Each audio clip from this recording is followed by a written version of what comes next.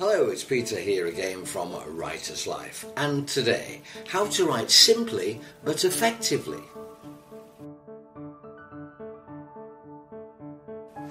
Whatever kind of writing you're working on, one of the most common mistakes is trying too hard and making it overly complicated. This is true whether you're writing a blog or a novel. Many writers can get so caught up in wanting to come across as impressive or intelligent that they forget that some of the most influential writing is not full of ridiculously long and complicated words or overly convoluted sentences. Instead, there's a great beauty to be found in simplicity, and often the most uncomplicated writing has the most significant effect. Writing simply but effectively is an important quality for any writer. Remember, you always have a finite number of words to write with and therefore should make each and every one of them count. By being too flowery with your language, by being painstakingly detailed with your descriptions, by using language that your readers will struggle to understand, you are isolating them rather than drawing them in. While a reader may be able to forgive this once or twice if your prose is littered with such errors, they will soon lose interest in what you have to say and eventually give up altogether. So, how can you reassess your writing to ensure that you are keeping it simple and therefore delivering the greatest impact? Here are some useful tips. Be factual and direct. In journalistic writing, one of the most common pieces of advice given is to ensure you cover all the facts. You can do so by asking yourself the five W's who, what, when, where, and why.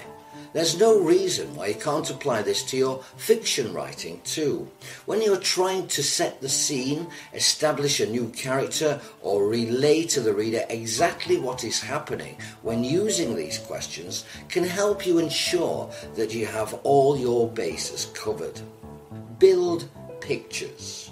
For your reader to enjoy your writing, they want to be immersed in what they are reading. And to do so, they need to be able to build pictures in their mind's eye. You don't need to over explain what's going on. Instead, use simple but effective detailing to create images. Do this by appealing to the five senses sight, sound, smell, touch, and taste. Ensure your language is precise and the descriptions you use are sharp and effective without going overboard. Inspire an emotional response. In order for your writing to be effective, you need to create emotion in your reader.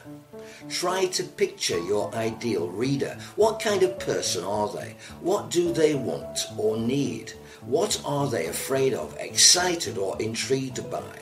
The better you understand your reader, the easier it will be to direct them to feel a certain way about what you've written. If you can get your readers to invest in your story emotionally, you will have them hooked. Think about beginnings and endings. While your overall piece should have an enormous impact on your reader, it is also essential to break it down further. Pay attention to how you open and close each chapter. Then go deeper and examine how you start and finish each paragraph. Simple, effective writing takes a lot of work, but the more time you spend refining your writing, the better it will be and the greater impression it will have. So just keep practicing. Take your time and use the strategies that we've already mentioned, and you'll soon see what a difference it makes to your writing and how much more powerful and effective it can be. Struggling to write or finish your book? Our free writer's toolkit can help. With it, you'll learn how to overcome procrastination, get organized, stay focused, find time to write, and finally get your book published. To get access now while it's still available, simply go to writerslife.org forward slash toolkit. That's it for now. Be sure to like this video and subscribe to our channel for more. And I'll see you next time.